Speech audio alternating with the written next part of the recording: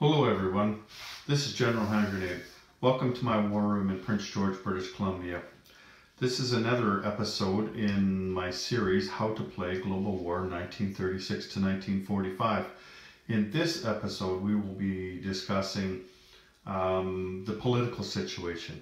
So the relationship between the major powers, the relationship that they have with their minor powers. Uh, we're going to talk about neutrality and alignment and, and control. Uh, so that you can see the, the difference between those, uh, uh, well, especially between alignment and control. It took me a little bit to wrap my head around that one uh, because uh, they're, they're slightly different, but they're important differences. So if you're looking through the rule book, where you're going to find this section on what we're talking about, it would be page 19, and here I'll show you. This is the first page on that. It's, it's called National Relations, okay? So, before I get into that, let's just take a quick look at the board.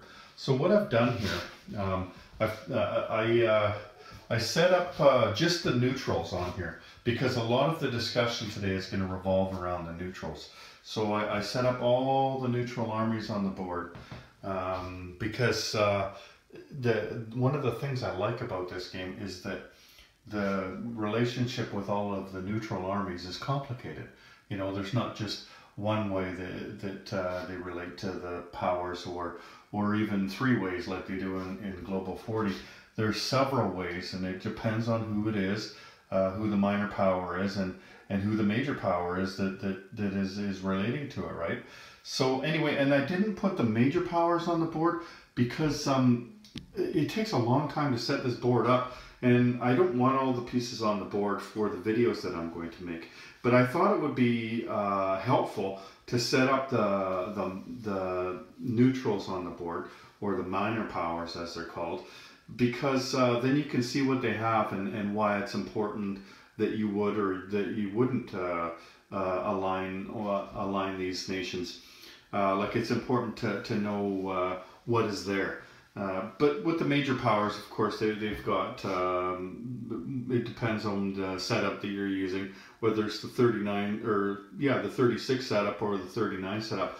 And I will be keying mostly on the 36 setup because the 39 setup is a very simplified version of the, the political situation in this game. So uh, what I've done instead of putting them on the board, like you can see here, there's the Eiffel Tower. So that's where France is. I just put the, the markers on the board to show where, where the capitals are for the major powers.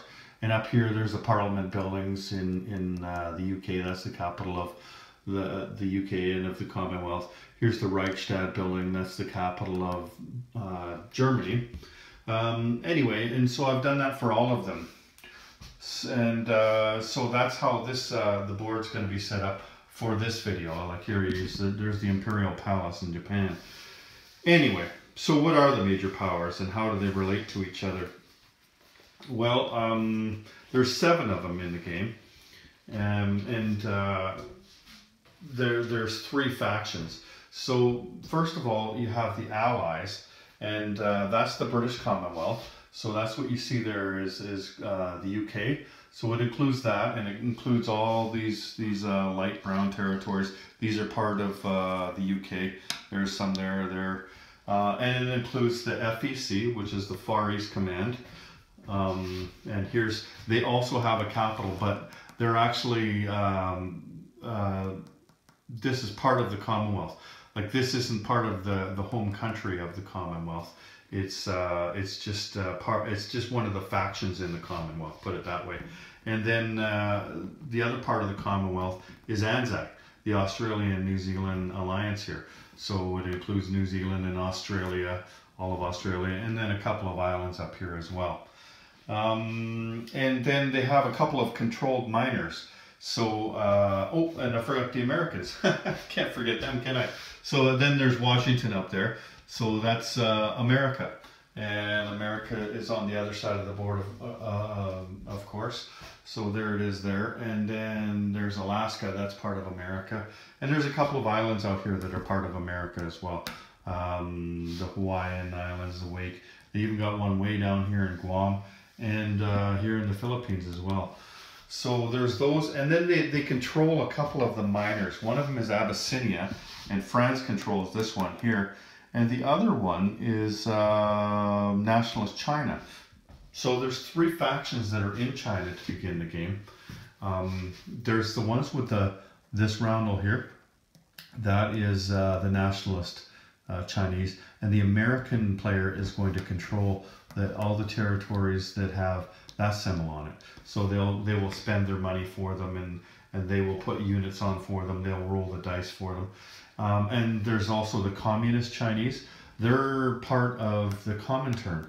Um, and uh, so they're they're controlled by the Russian player, and the other part of China is uh, just warlord nations. So they're kind of um, they're not they're not aligned to anybody really when the game begins, but um, as uh, they're taken over by either the communists or the nationalists, or they get attacked by Japan, and, and they all become the once they get attacked by anybody in here gets attacked by Japan, then these uh, warlords are going to join the nationalist Chinese, assuming that the communists haven't wiped them out at that point.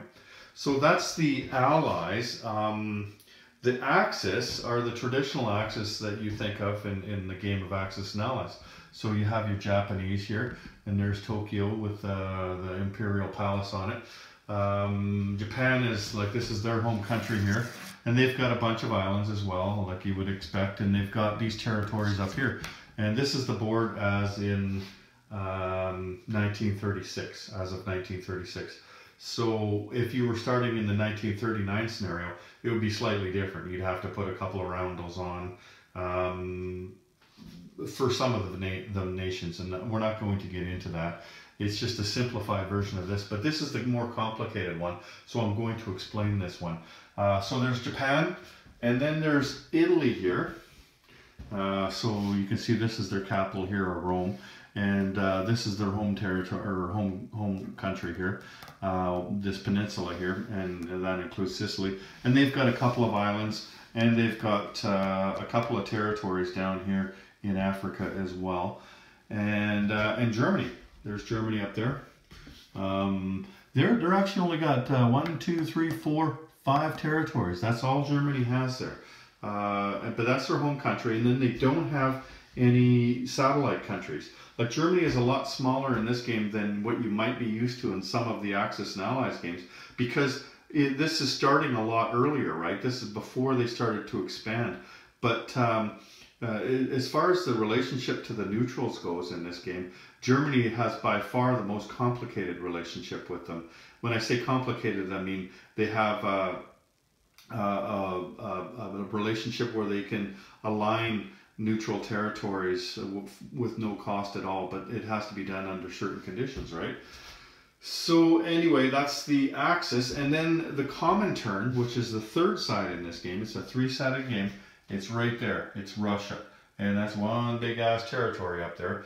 And um, controlled by Russia as well, like I mentioned earlier, is the Communist Chinese and it's the Republicans. Oh, and I should have mentioned that the yellow guys here, that's the nationalist Spain, they're controlled by Germany. So when Germany takes their turn, they're also going to take the turn of the nationalist Spanish.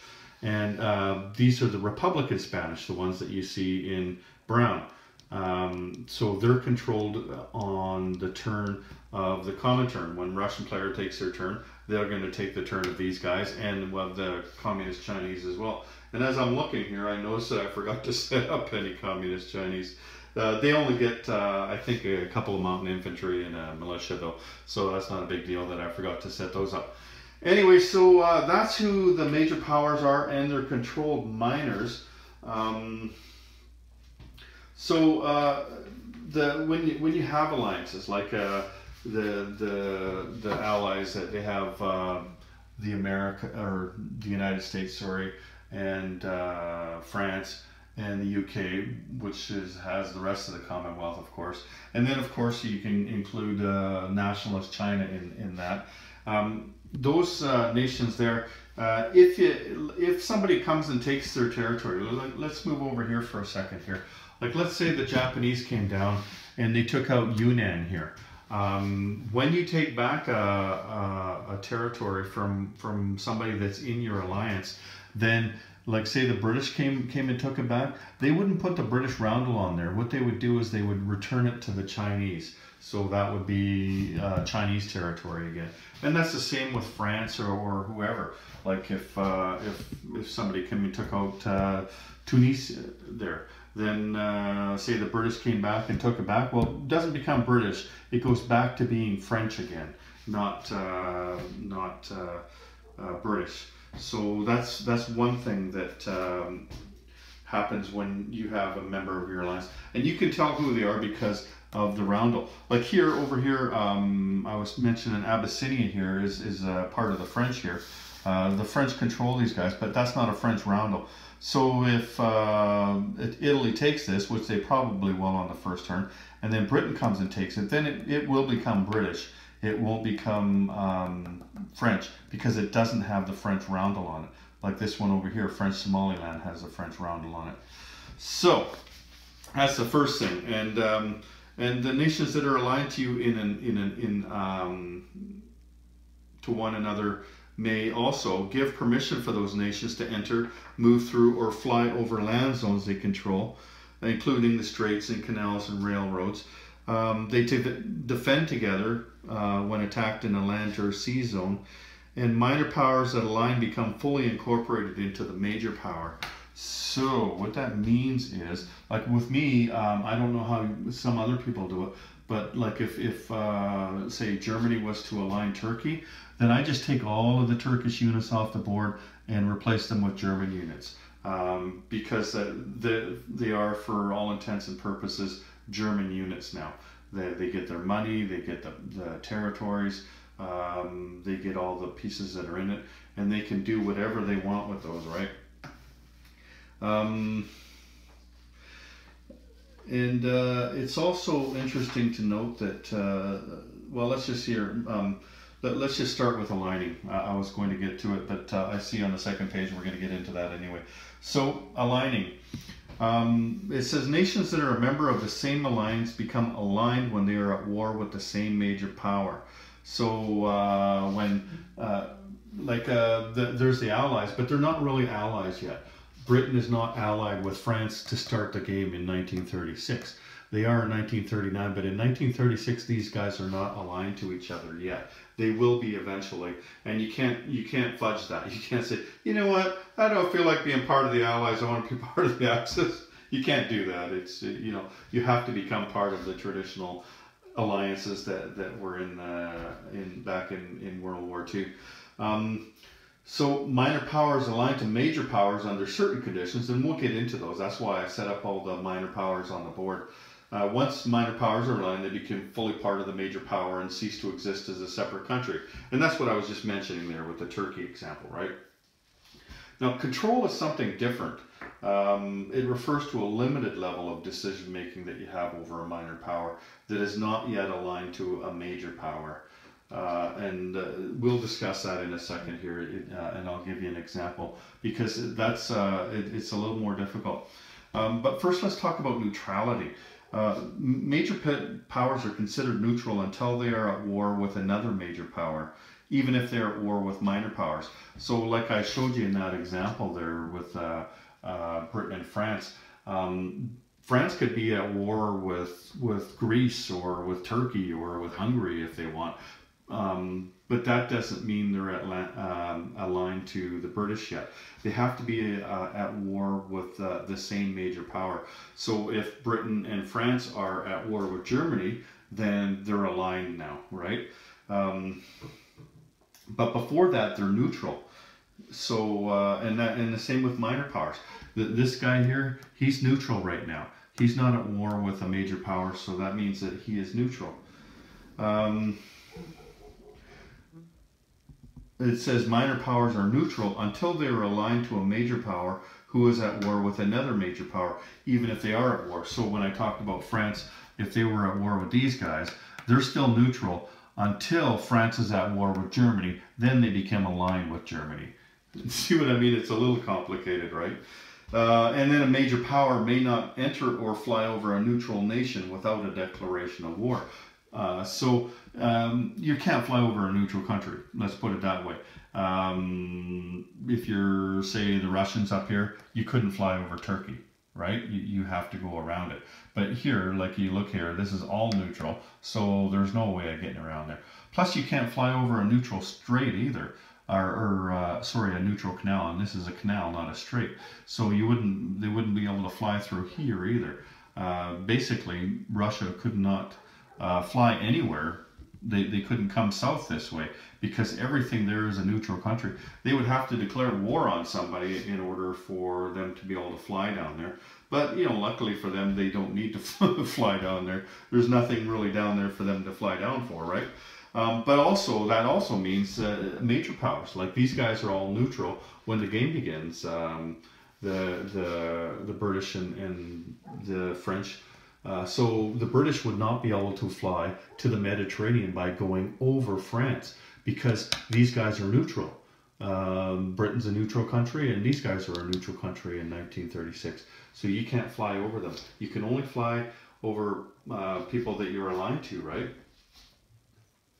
Um, so let's talk about control for a second there, and we'll talk about the difference between control and alignment. I'll try to explain it better now. Control is a limited decision-making authority a player has over a non-aligned neutral power. So um, uh, uh, when you control a minor, you may roll for its units in combat and select casualties. Um, also, you can uh, move its units inside their home country and at sea. Uh, and you can use their income and facilities for their own production. A controlled minor may not take any action that would put it at war with another nation.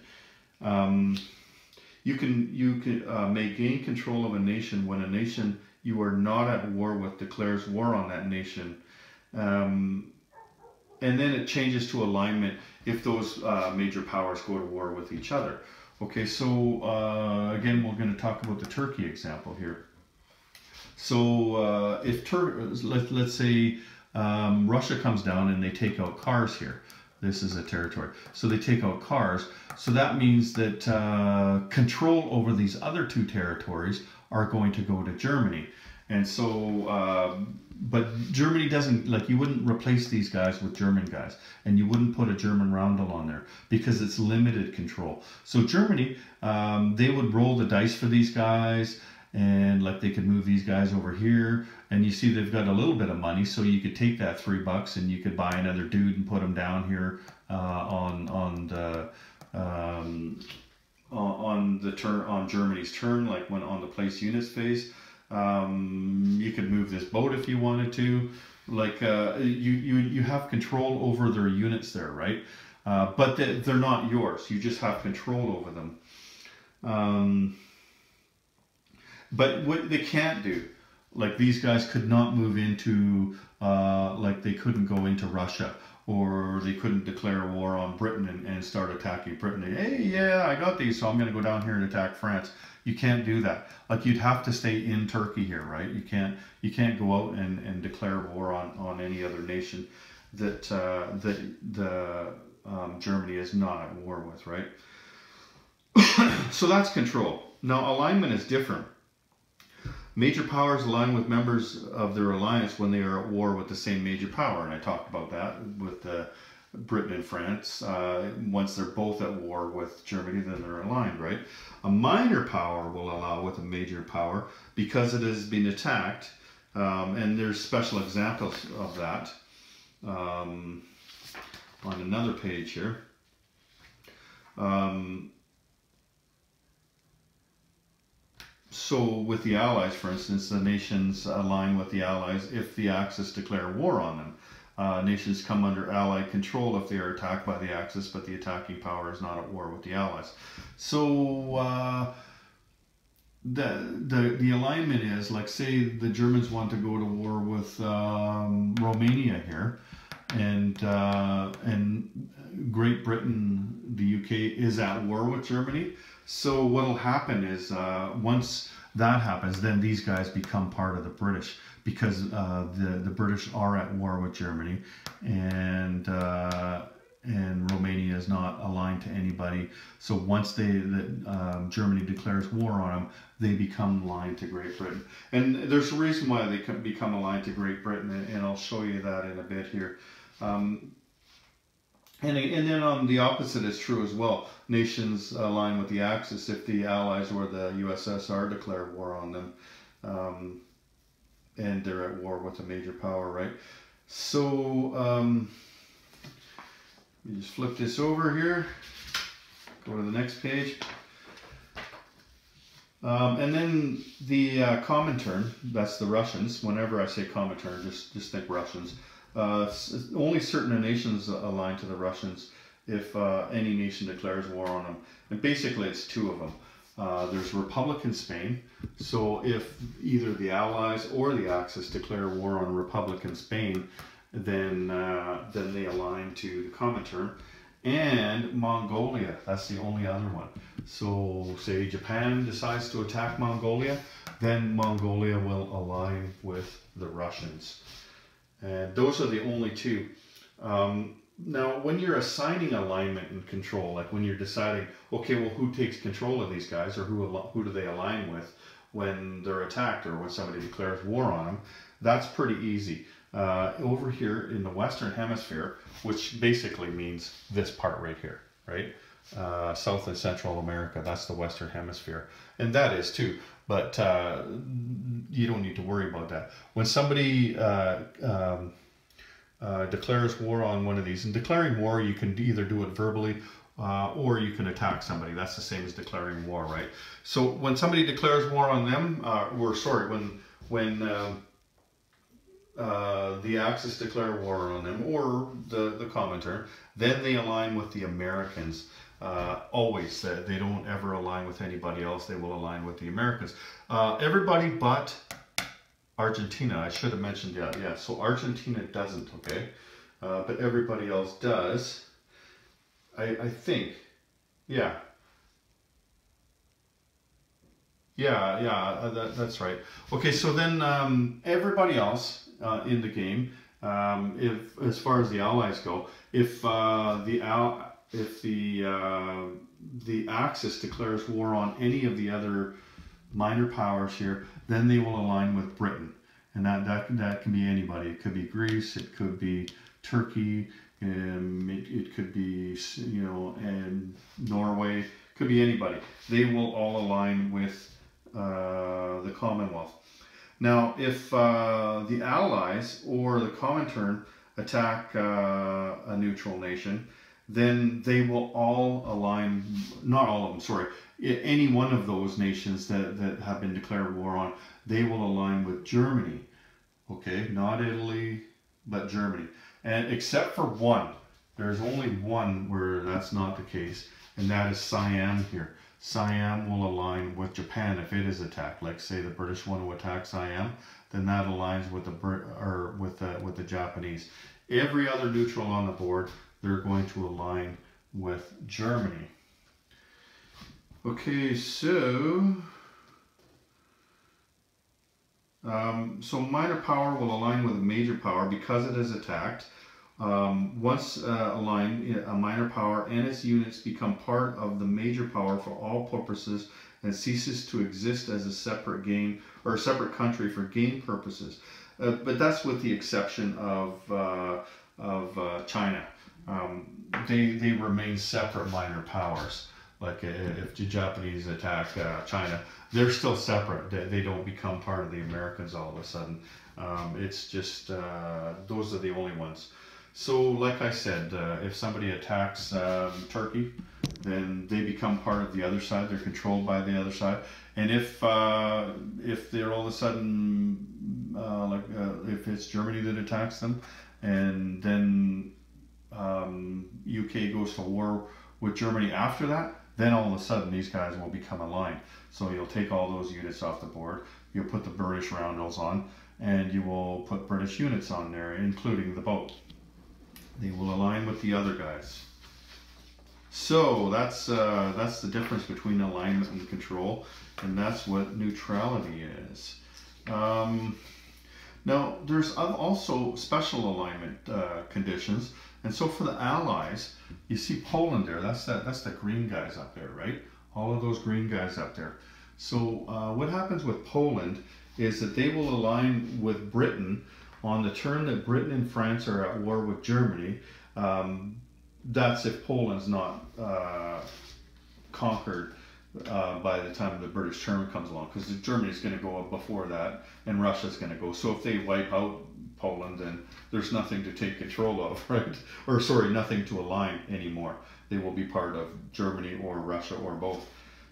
But if there's any part of Poland left after uh, after Britain and France go to war with Germany, then they become part of the British. And in the 1939 scenario, Poland already begins begins aligned with Britain. So all of the stuff that's on here in the 1939 scenario would be British. Uh, you might as well even just set British units up there. You add the the income to the British as well. And I just knocked that guy over. He must be drunk. Uh, so the Pan American nations there, you can align them. Uh, those are the ones that I showed you over here in the Western Hemisphere. The Americans can align those ones if they want, except for, like I said, except for this one. Um, uh, the the blue guys here. That there's three territories here, and that's Argentina. So the Americans can align any one of those ones there. Um, once uh, once they're at war with another major power, like they couldn't do it in 1936. They have to wait until whatever year it is. It could be 1941 or 42. You know, whenever they they go to war with uh, either Japan or China, or sorry, no, Japan or Germany or uh, Italy, or I guess uh, Russia, if they go to war with them because they're a major power, then they can attempt to align these nations. And how that will work is that um, they will say, okay, I want to align with somebody, and they will pay up to three bucks. So let's say they want to align this one here. They'll pay three bucks and uh, or two or one and whatever amount of money they pay they have to roll that or less. So if they pay three then they got to roll a three or less. And if they do roll a three or less then all of this stuff here becomes american and they will get the money for it as well. They can add these to their income. And if they don't get it then they then you know well they, they missed it. Um, now you can add one to that if uh, there's an enemy submarine hunting along uh, the Rio de Janeiro convoy line. And that's this convoy line here, the, the white one. You can see it goes uh, from here and it goes all the way up to New York there. So if, uh, if uh, since the last American turn, if uh, say a German sub was uh, was attacking the, the convoy line there, then you can add one to that. So if the Americans paid three to align this, then they can do it at a four or less, right? And that goes true with all the nations except for Argentina. They can't align them, but they could try to align Mexico if they wanted. Like Mexico has a fighter and it's got a destroyer there, you know. Uh, they would add their their income to to theirs and, and everything. Otherwise, these guys down here, nothing ever happens with those guys down there, right? Um, except for there is a uh, stipulation for Argentina there, and that's the blue guys that I showed you, and they kind of had a special relationship with Germany, and it was it was kind of complicated. Like some people thought that that Hitler, you know, after the war, he didn't really die. He went to Argentina, and there was a lot like um, I don't know if you ever seen the show Nazi Hunters, but a lot of them they find down here in Argentina. So they they they they had uh, friends in Argentina, put it that way. I don't think it was ever official though, like the the government of Argentina, but uh, there was a, they had a lot of sympathy down there, yeah, and a lot of support in Argentina. So Germany can align Argentina once Germany is at war with at least one major power. Germany must pay two IPP to the bank and roll a D12 on a one to one or two. Argentina becomes Axis aligned uh, and if that happens, then you increase the U.S. income by one D12. So you'd roll a D12, and the Americans, uh, you would change their, their income level. Uh, it would go up by whatever that number was. So that's uh, that's the only one down here that can align with anybody other than the Americans. And that's uh, uh, and then there's a whole bunch of other ones like here, Siam in 1939, in July of 1939, they will automatically align to the Japanese if they're still neutral. Like if Britain has taken them out or China has taken them out, then they won't. Um, but they will align to Japan just automatically. So you would add a dollar to the Japanese. You put a Japanese round on. You you change these units here to Japanese units, and and then you continue the game, right? Um, so let's talk about uh, some of the axis. And the, there's a, a, bigger list of those. You know what? I'm going to go to the other side of the board, okay? Um, and uh, I'm going to take this stuff with me. So Germany, like I said, they're the ones with the that are most complicated. Um, they have more alignment conditions than anybody else, or, or ways that they can align minors. So uh, the first one is they can annex uh, Austria, Sudetenland, and Slovakia. So that's, let me just pick this guy up here, sober him up a bit, get some coffee into him. Okay. So what I did was I when I when I when I painted all my my um, minor powers, I, I, I, made sure that all of these ones were white here. And they could have been any color. I could have picked any color, but I you know like I painted the first one white, so the rest one rest of I painted white. And that's because all of these have a special alignment conditions that, that uh, the Germans, uh, and, and it's just a matter of Germany wanting them. like if you played uh, um, Global 40, you'll know like all this stuff here was part of Germany, right? Uh, during the game. Uh, at the start of the game in 1940. And that's basically the, the point that you get to in this game as well. All this stuff will become German, right? Uh, so that's this territory here, Sudetenland, Slovakia, and Austria over here. Now they can annex them one at a time starting in 1936. So like I would probably access Austria first because it's worth two IPP. Uh, so if you can only do one at a time, you might as well get the most money that you can right away. So you annex these guys. And what you would do is you would move one land unit into there and then uh, next turn you move the land unit up to here, and then the next turn you move the land unit down to here. Um, and there is a, a, a, special rule that you can use. It's uh, I haven't used it, but um, uh, where France and I think the UK can interdict when you're trying to do this one, but it, it doesn't work out well for them if it doesn't work. So uh, it's probably best just to let Germany go ahead and, and annex them. Um, they're not declarations of war, but they do trigger incomes uh, increases in the Allied powers. So everything that you do in this game um, isn't necessarily what it looks like, right? Like uh, you go to annex Austria. I think what it is is uh, France and Britain each go up by a dollar on their income. Um, and and the next one then it'll go up another dollar and the next one another dollar. Like everything has its own certain conditions when, when it happens right? So those are the first three is these three right here and they they can get them just by moving in and that's when they're not at war with anybody. Now Bulgaria or Hungary and Romania so there's Hungary uh, there's Bulgaria and there's Romania. Those are the other three white ones that I have here or with the white units I mean um, they will be available for alignment immediately after Paris falls. So Germany, in the place units phase of each turn subsequent to the fall of Paris, may align one of these three nations. As soon as Germany declares war on the USSR, the remaining nations automatically align. So if you if Germany declares war on on Russia and they haven't aligned these three nations yet, then they will automatically align to Germany. Like I said, you know, they eventually get there by 1940 or so, right? Um, but what happens if, like, if Germany decided they wanted these guys earlier, you know, uh, like uh, they're, they're not at war with, with uh, or they have, Paris hasn't fallen yet, and they decide to go after Romania, then they're going to have to attack all these guys in here, right? Uh, and they're going to take some losses probably, and then these guys will all be dead afterwards. Whereas if they just wait for the appropriate amount of time, then they can just move in there and then all of these guys here, including this boat over here, will become German. So the game kind of pushes you into uh, um, do this, now go ahead and do this, now do this, you know what I mean?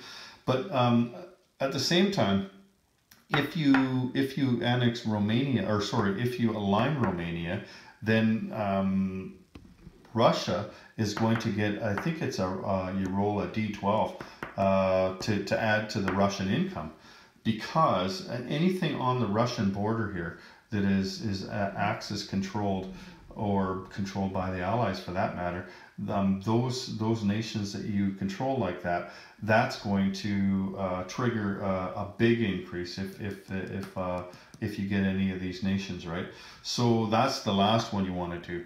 Now these ones, uh, I was reading through it and it didn't seem that you had to move a unit in there. It's just in the place units phase, um, subsequent to the fall of Paris, it may align any one of these three nations. So I guess you just say, okay, I want this one and then you replace those dudes with German dudes, right? And you put a roundel on there and you get their money. And the same with Hungary. And then when you're ready to attack Russia, um, either do this just a turn before or do it that turn, you know, to to avoid giving Russia that big increase. And again, like I talked about earlier with these other three, that's going to trigger increases in the other nations as well, uh, some of the other nations. And um, I'm not going to tell you exactly how much and who and you know, and same with China. Like when when Japan attacks China, then I think the Americans get a five dollar increase, and the FEC gets an increase, and the ANZAC get an increase. Like it, triggers a series of things when when uh, minor powers get attacked.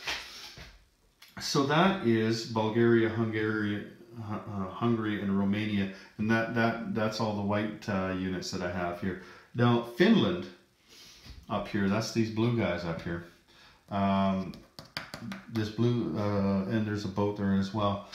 Germany and USSR have the option of a special call, pack called the Molotov-Ribbentrop Pact, and that was the name of two different guys who who who negotiated this thing. One was called Molotov, and the other was called Ribbentrop. That's why it's called that.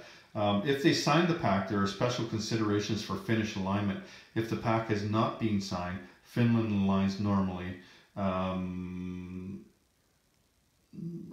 um, yeah, Finland would just align normally, like I talked about earlier, where you know somebody attacks them and then they're at war with a major power, then they align to the other guys.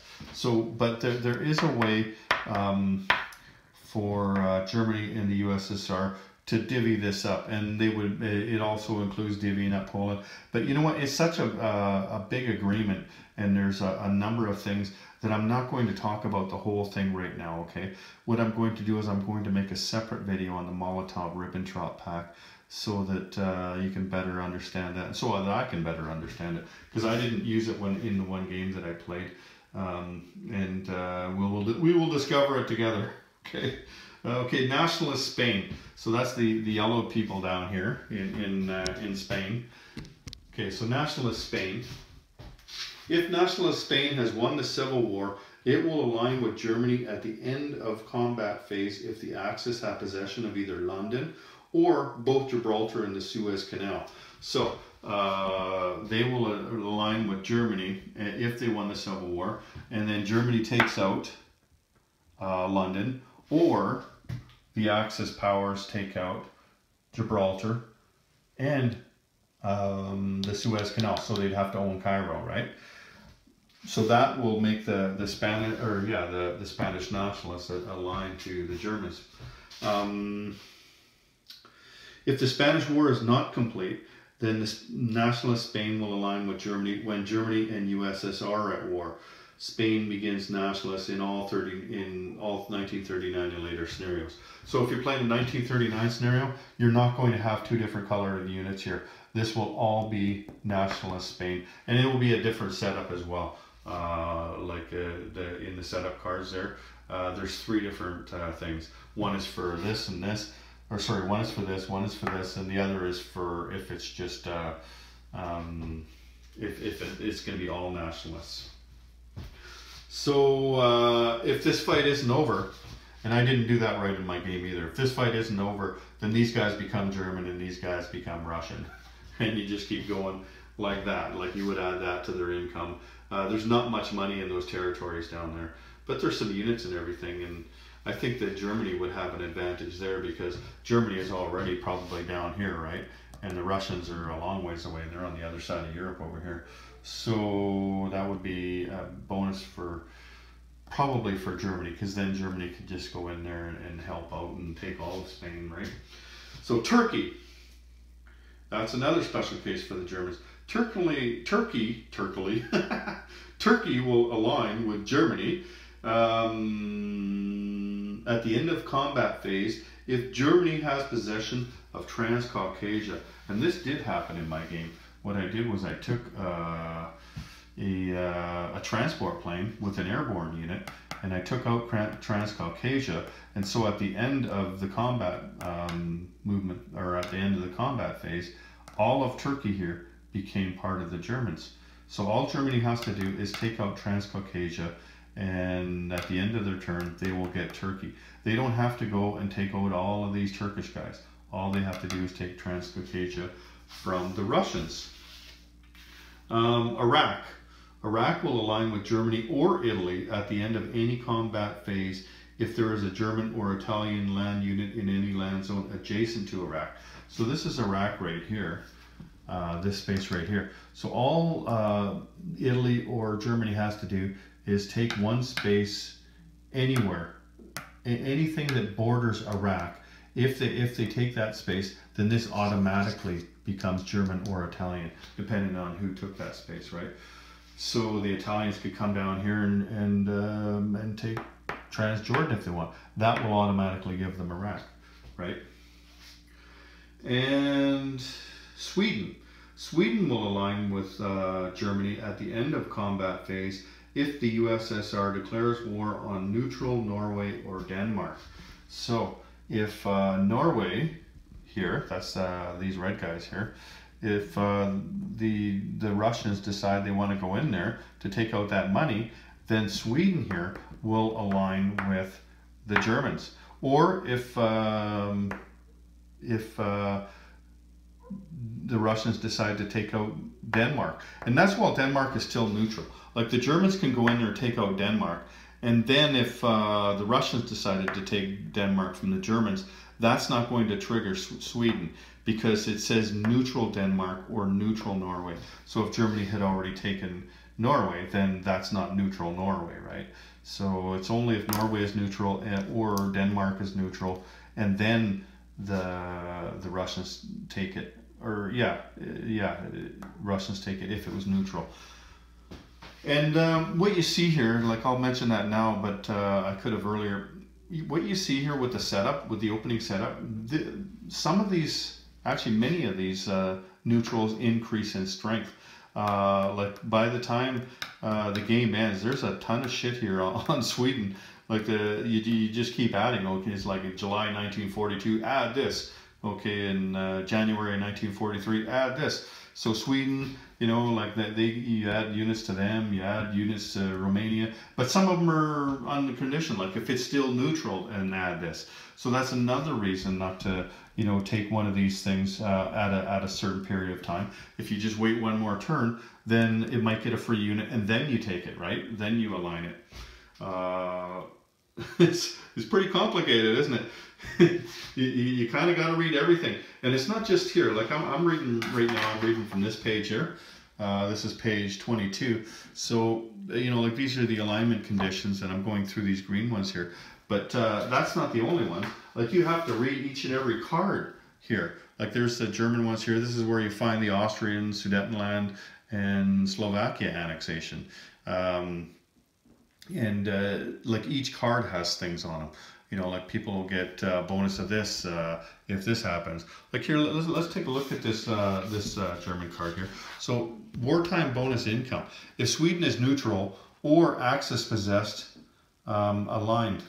Um, so if Sweden is neutral and Germany's at war, like it is neutral right now, then Germany gets an extra three bucks. So you would add three to the income tracker up there, just because Sweden is, is still neutral. Uh, it says if Narvik is Axis possessed or aligned, plus one. If Spanish nationalists won the Civil War, then they're plus one. If Romania is Axis possessed or aligned, then you add three. So not only would you get three bucks uh, for the Germans um, for owning this, uh, because this is worth three, but you would get a bonus three dollars because that's just a wartime bonus, right? Um, and then the Molotov Ribbentrop pact, and like I said, we'll do a video on that later. There's uh, they'll get an extra five if if they've signed that pact. Uh, and but all of the cards are like that. Like uh, the British card uh, has a lot of stuff on it, and you'll find like the the Anzac card doesn't have a much, but um, the major powers, uh, most of them, there's all kinds of bonus income, and it's not just for uh, when they're at war. It's when they're at peace, uh, and and you'll find with the the Allies. let, let's just go grab one of their cards with the allies, when they're at peace, that's when a lot of their bonuses kick in. So here, let me just uh, set this down and grab a card for them. Um, so here's the United States card. Let's just take it over and take a look at this. So the peacetime bonus income here. Let's just take a look here. Uh, Japan completes a battleship, aircraft carrier, or light carrier. So when I say complete, I mean that means that they they put them on the board because uh, there's that uh, the production and facility chart that I showed you when they start buying one. That doesn't mean they get to put it on the board. That means they got to keep paying for it for a while. It's it's on the it's on the mortgage plan, right? But when they put it on the board, America's going to get three bucks for every uh, battleship, aircraft carrier, or light carrier to put on the board. Uh, Japan declares war on the USSR other than border skirmishes. So they're allowed to skirmish at the border uh, and not take over each other's land. They're just like hucking grenades at each other. Then uh, the Americans will roll a d6, and whatever number it is, that's how much the American money goes up. Uh, Japan declares war on any neutral. Uh, the Americans get 2d12. So, you know, like if they wanted to declare war on um, on Mongolia, for instance, then the Americans are so it's not worth it. Like Mongolia is only worth two bucks, right? Why would they do that to give the Americans two rolls uh, with a 12-sided dice to add to their income? Uh, Japan declares war on Great Britain or France. America, or uh, yeah, America gets to roll five d12. Uh, Germany is at war with Britain or France. America gets five bucks. Axis possess London. Americans get 25 bucks. Germany declares war on USSR, so you roll one D, 12 uh, when Germany and Russia go to war. And Italy declares war on Great Britain or France, then the Americans are going to get five bucks. And that's just when they're at peace. And that's a big deal because you look at the starting money here. Uh, Americans start with six bucks. They have to get to $63 before they can declare war on somebody. Like they they can't do anything. They can't go to war with anybody. They have to stay in America, and their boats have to stay uh, along the coast there, on both sides on the coast, until they are at war with somebody. Uh, and so, uh, if nobody declares war on them, then they have to wait until they keep uh, getting these bonuses down here until they get to 63 bucks. And it, uh, I think it's in 39 um, uh, that they start. Yeah, starting in July 39, they roll 1d12 per turn until reaching their wartime income. So uh, it, uh, like uh, you can roll the dice and only get a one on it though. You know, you might get a 12, but you might get a one. Like it might take forever. It took me till 1943 to bring the Americans into the war in the game that I played. Uh, and so when you're when you're thinking about neutrals and you're thinking about taking over neutrals, declaring war on them and things like that. Those are the kind of things that you're going to come up against as the Axis player. Is you're going to give money to the other guys, right? And uh, and I showed you the wartime bonus income for the Germans here. There's only one for the Americans. Like here, the wartime bonus income that's in green down here for control of uh, the contiguous USA. So that's uh, the 48 lower states. They get an extra 12 bucks for that. So they would be at 63 probably plus 12, so 75 bucks. And what that means is that the lower states here. So those those states there and the states over here. So it doesn't include any islands. It doesn't include Hawaii. You know, it just if they if they control all of those states, then they get an extra 12 bucks when they're at war, but not when they're at peace, right? Um, another thing we should mention is the Monroe Doctrine. So the US uh, the USA can declare war on any major power that declares war on or attacks any zone in the Western Hemisphere. So that's anybody. Like it could be Canada up there, could be America, obviously, and then it could be any of these nations down here. Uh, that doesn't include Argentina aligning this uh, because they're not declaring war on them. But if the Germans came down here and decided to attack somebody, or the Italians, or the Japanese, that brings America into the war. Uh, that was called the Monroe Doctrine. The Americans just would not tolerate anybody attacking anywhere in North, Central, or South America. That was their line in the sand uh, back in 1930s and 40s. Was hey, you you want to be at war? You go play. You go play war over there. You bring the war over here, then then we're jumping in, right? Um, and other things that happens, uh, like when I said Americans uh, start at six, so like the Panama Canal here, and I mentioned this when I talked about canals and uh, straits.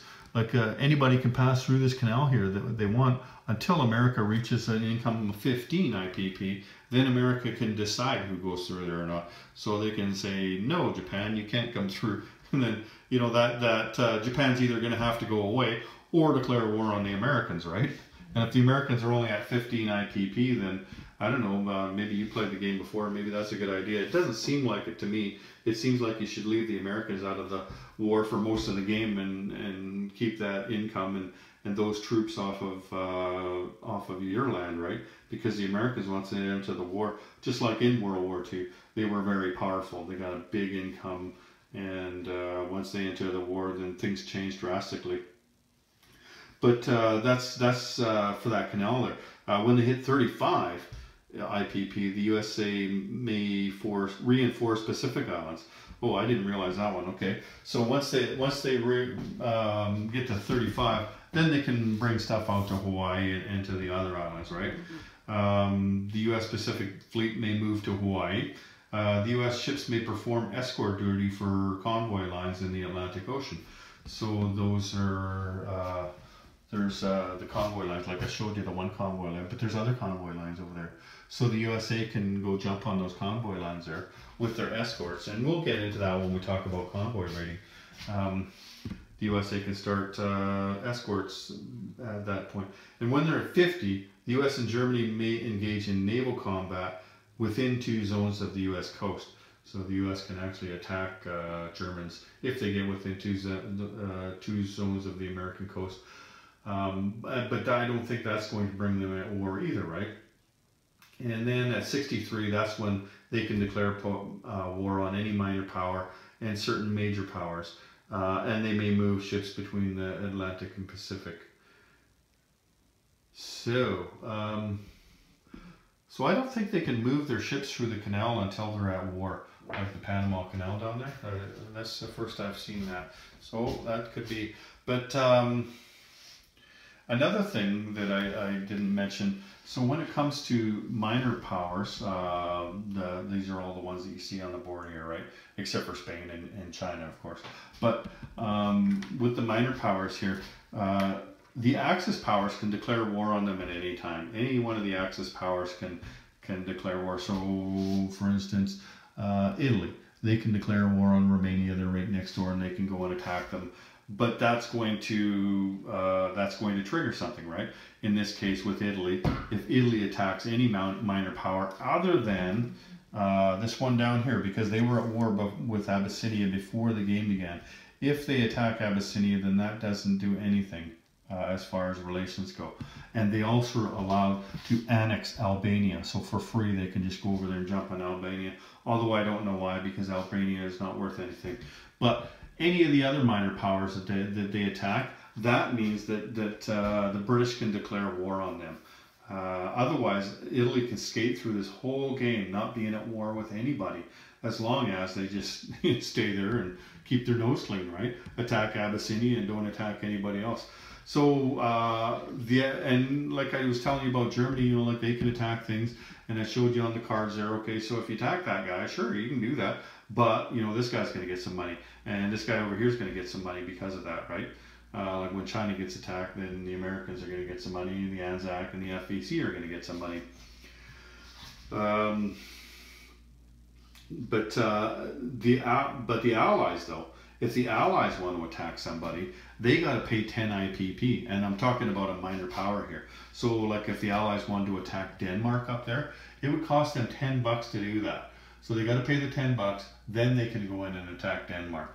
Um, and that's because like they had democracies and you know they were nice and they, they had to uh, they were the good guys right? They, they couldn't just go and, and take out another country that hadn't done anything to them.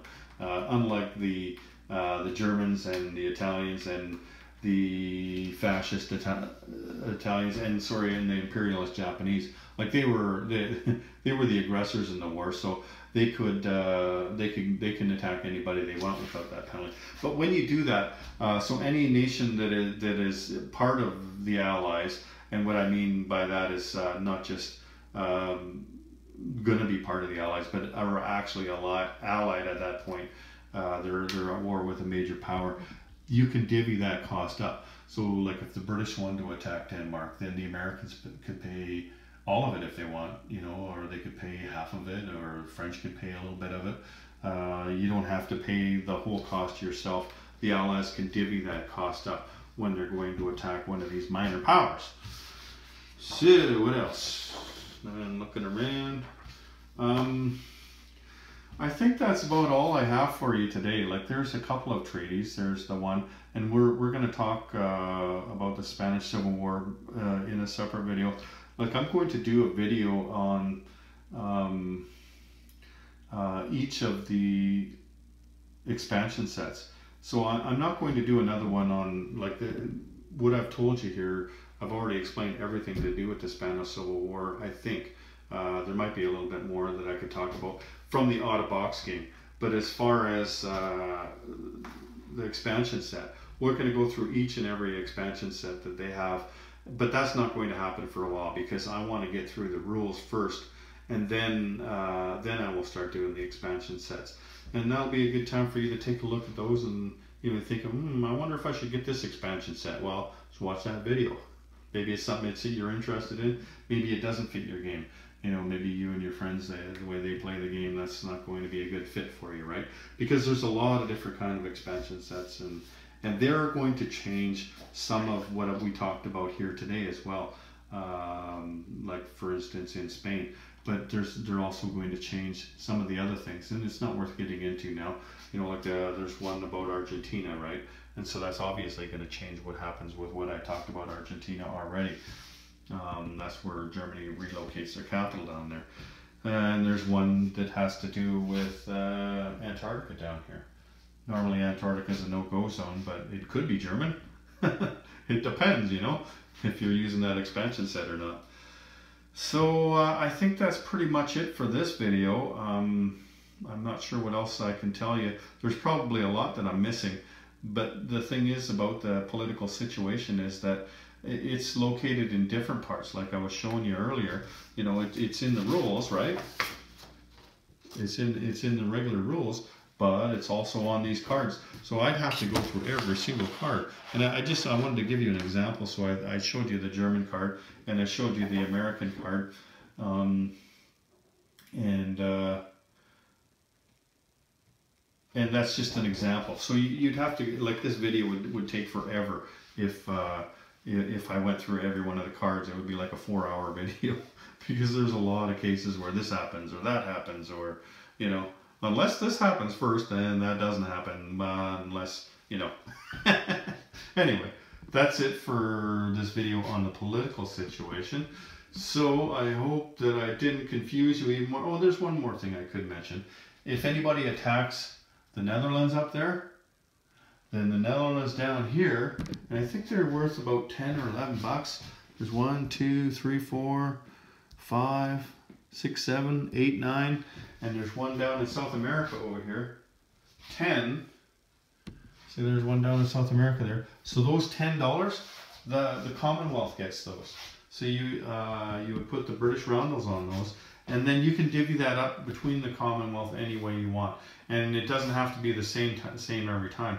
Like you could say, okay, this turn uh, Anzac's going to get five, and the UK, the FEC is going to get three, and and the UK is going to get two.